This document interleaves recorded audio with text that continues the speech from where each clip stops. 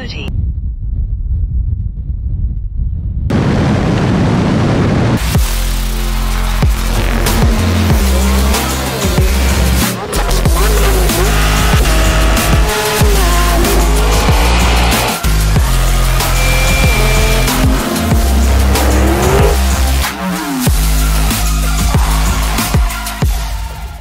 Hey everyone, today I have a pretty incredible video to share with you the most powerful production sedan in the world, the 1111 horsepower Lucid Air Performance Dream Edition versus the current king of the hill, the 1020 horsepower Tesla Plaid. First, I have to give a special thanks to Sanjay for letting me test out and race his brand new Lucid Air, and to John from Hennessy Performance for letting us use his very own brand new Tesla Plaid and for providing the awesome venue to set up these races. Also to Jimmy for flying out with me, and to Ted for EVS Motors for providing a loaner Mazda RX-7 for me to drive around Houston, and he provided his STO for testing. More on that later. If you haven't seen already, last week I posted the first real world test results of the Lucid Air where it ran a 10 flat at 143 miles an hour. Shortly after posting that, I received an email from Lucid with some hints on how to get the best performance from the Lucid Air.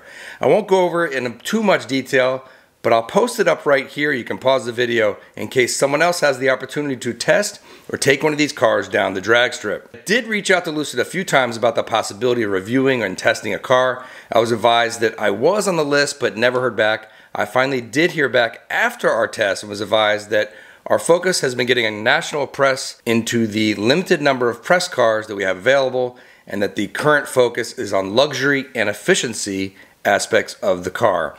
Of course, I'm a bit biased, but if there's an 1111 horsepower car that comes out, you guys want to see how efficient it is or how fast it is? Drop your comments below. So yes, we can all say it together. I'm just an owner of the YouTube channel, but either way, Lucid, I'm ready to take a fully prepared one down a prep to drag strip to get the best numbers. Let me know. So Jimmy and I headed out to Houston, Texas to do it ourselves. Both cars were fully charged the night before, and John Hennessy had the cars towed to his facility to keep the playing field even it was pretty cold out there, and while the Plaid does have a drag strip prep mode to heat the batteries, and the Lucid does not, we did not wait for that to be ready to start the races. Unfortunately, winds were crazy, over 40 miles an hour. All right, All right we're out here at Hennessy's racetrack. We got the, it is so crazy. Uh, I don't even know. and doing intros and outros outside was almost impossible, so I have to do it from here in my garage. Now onto the races. Lucid Air versus Tesla Plaid. If you stick around to the end, I will do a little recap. Launch control activated. Go. Oh, it hooks. It's good.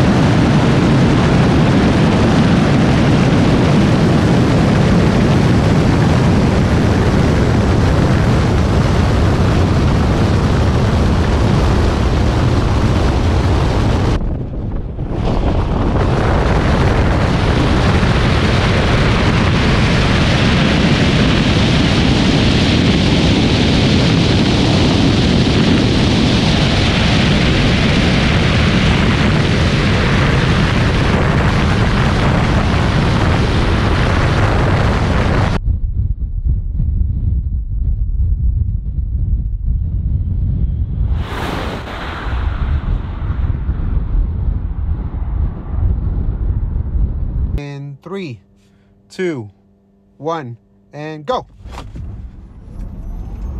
30, 60, 130,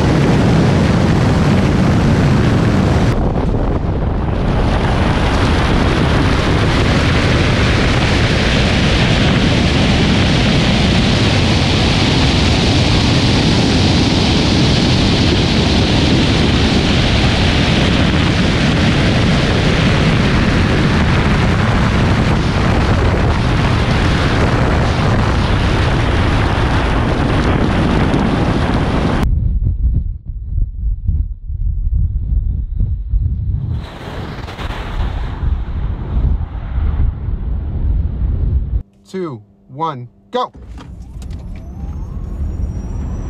60,